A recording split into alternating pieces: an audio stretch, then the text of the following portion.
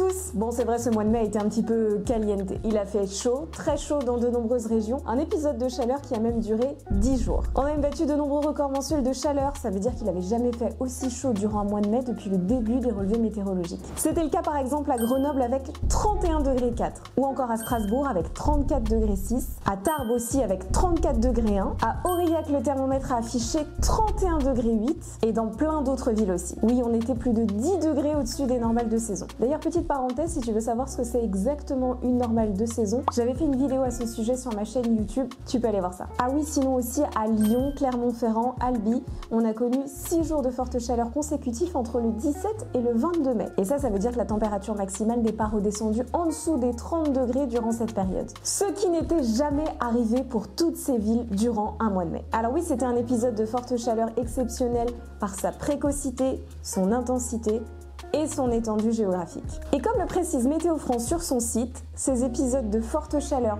précoce et durable ne sont pas si fréquents que ça. Dans un contexte de changement climatique, ils sont amenés à survenir plus souvent, mais aussi plus précocement dans le printemps qu'avant. Mais alors là, je sais ce que tu te dis. Est-ce que ça veut dire qu'on va connaître forcément une canicule l'été prochain? Oui, je sais que tu te dis ça parce qu'en fait, j'ai reçu cette question sur Insta. Et coucou à Cyril au passage. Hein. Et la réponse est pas forcément. Non, c'est pas parce qu'il a fait très chaud en mai qu'on va forcément connaître un épisode de canicule en juillet ou en août. Et pour rappel, une canicule, c'est un épisode de forte chaleur durant lequel les températures atteignent des seuils fixés par météo Météo France de jour comme de nuit pendant au moins 3 jours. Et ces seuils de température sont différents selon les départements. Bah oui, on supporte un peu mieux la chaleur dans le sud que dans le nord. Et après, j'ai un petit peu fouillé dans les archives et j'ai trouvé plusieurs exemples. En mai 1945, un épisode de forte chaleur avait fait l'actualité avec 32 degrés 2 relevés à Nantes. En mai 1998, on avait aussi dépassé les 30 degrés pendant plusieurs jours dans plusieurs villes comme Lille, Paris. Et plus récemment, le mois de mai 2011 avait aussi été très très chaud. Mais voilà, ces années-là, nous n'avions pas connu de canicule l'été qui avait suivi. Et ce qu'il faut comprendre aussi, c'est qu'une canicule, les météorologues ne peuvent la prévoir que 7 jours grand maximum à l'avance. Oui, ce sont des prévisions issues des modèles météorologiques classiques. Des simulations qui intègrent toutes les données d'observation qui tournent dans les supercalculateurs. Et ces données prévoient l'état futur de l'atmosphère dans les prochains jours. Donc vous avez compris, en fait, ce sont des prévisions à court terme. Et il est beaucoup trop tôt pour dire si on va vraiment avoir très chaud l'été prochain. Mais dans le doute, prévoyez quand même la piscine gonflable et les glaçons.